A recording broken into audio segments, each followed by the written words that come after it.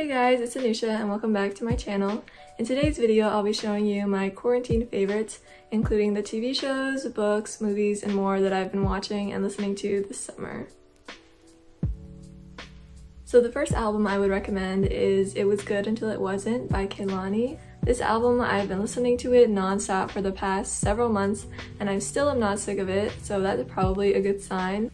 I definitely think it's Kehlani's best album so far.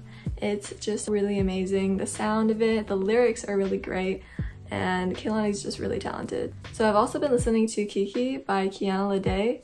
Kiana Lede is incredibly underrated and she's so talented, her vocals are amazing, and this album is just an overall 10 out of 10, no skips. The production, the vocals, everything about it is just an overall great album. Another really great album is Sweetener by Ariana Grande, and I know it's like two years old. I think its two years anniversary was earlier in August this year actually. But I think it's like my comfort album. It has songs with healing and then there's like those sweet love songs and it doesn't show off Ariana Grande's vocals as much as her other albums do, but I don't even think that's necessary with these songs. And it was such a great comeback album.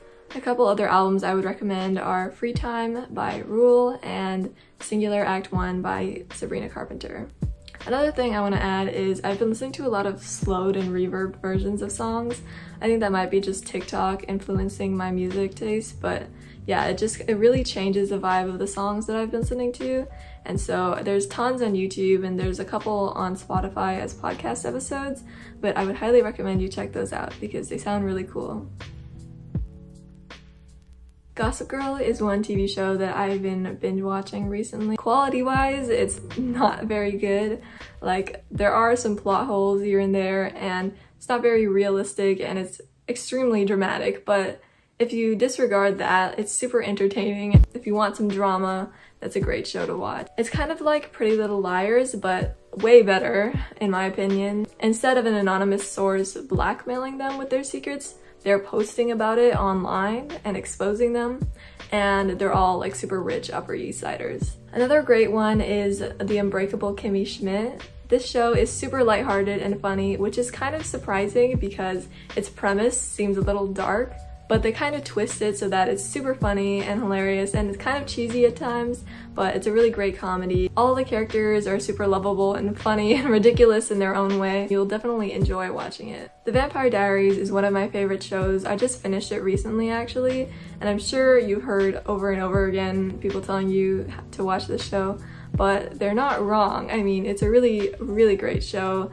It's filled with suspense and plot twists and there's like drama and of course there's like the whole fantasy thing with vampires and magic and all of that. I also love Parks and Rec. It's a really great and hilarious comedy and it's a lot like The Office, I think, where it takes something seemingly mundane like a paper company or the Parks and Rec department of government and turns it into like something really funny and lighthearted and I think it is actually just as funny as The Office, if not even more, in my opinion.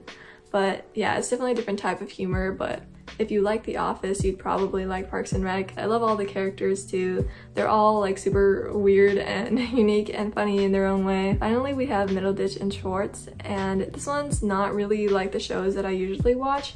I don't usually watch those stand-up live comedy shows, but this one is 100% improv, which is super cool, and they're both really good at it because it was hilarious, and there's only three episodes. I wish there were more.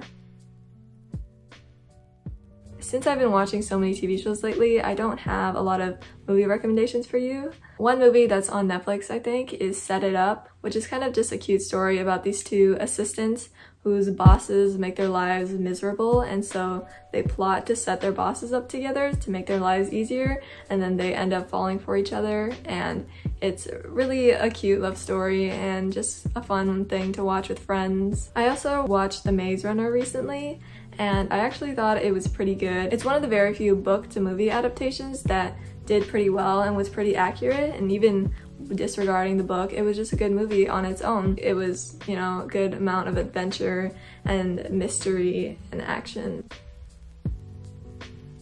The first one is Tell Me Three Things. It's about this girl who gets an anonymous email from one of her classmates And it's this really cute love story about them falling for each other online via text and sort of like the mystery about her figuring out who it is. And it can be cliche sometimes, but it was just a fun read. Another book that I would recommend is The Hate You Give, which is a moving but realistic story about police brutality and racism, but in a YA book for teens. And I think it really spreads awareness of the reality of the world and helps people understand at least a little bit of what's going on. Even beyond all that, it's a really moving plot and a really important story that I think a lot of people should read. Also, in honor of Rick Riordan announcing the new TV show adaptation, I've been rereading Percy Jackson and the Olympians series, and this series was my childhood. I grew up reading it in elementary school and it yes it is definitely targeted towards younger kids but I think anybody can read it. It's a super fun series, it's really well done, the plot is amazing and the main character is lovable and funny which is actually pretty rare these days. It's also one of the very few book series that have been really good from start to finish. So I've been meaning to listen to a lot more podcasts this summer as well and I never really got down to doing that, so I don't have a lot of recommendations for you guys. One thing I would suggest is TED Talks. I recently discovered that they have TED Talks as podcasts, which is pretty cool. I think TED Talks are super interesting and really cool to listen to and learn new things. Another really great podcast is Wild Till Nine. It's pretty new, there's only three episodes out, but it's super entertaining. I've been listening to it recently and I just, it's so much fun to listen to. It's run by this YouTuber and her boyfriend who kind of just talk about random things and stories about their lives and they give advice. And I just really love their dynamic and their relationship and it's just super entertaining to listen to. So I've been using the Tombow Fudenosuke. I always said it Fudenosuke, but now that I think about it, it sounds wrong.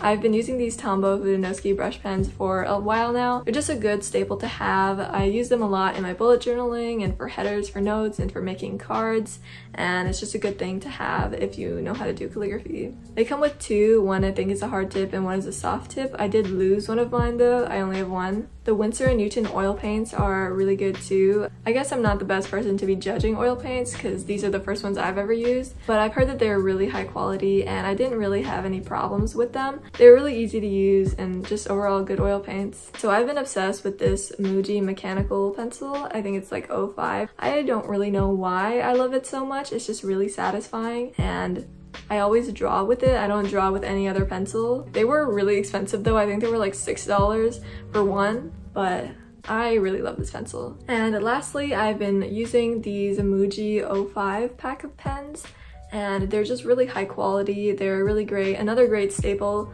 for bullet journaling. They're really high quality and from what I can tell, they don't smudge really easily either. And they're just really smooth and really great pens. Thanks so much for watching my video. If you have watched any of these TV shows or read any of these books, let me know your opinions on them and then maybe we can discuss in the comments.